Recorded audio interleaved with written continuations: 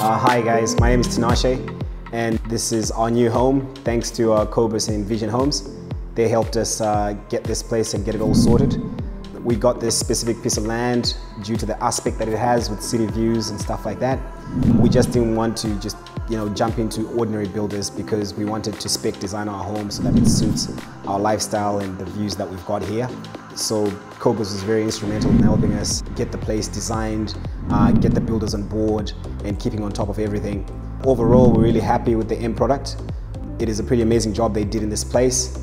Uh, and especially my favorite part, which is actually the outside of the house, because uh, funny enough, even though we like the house, the outside is the best part of it.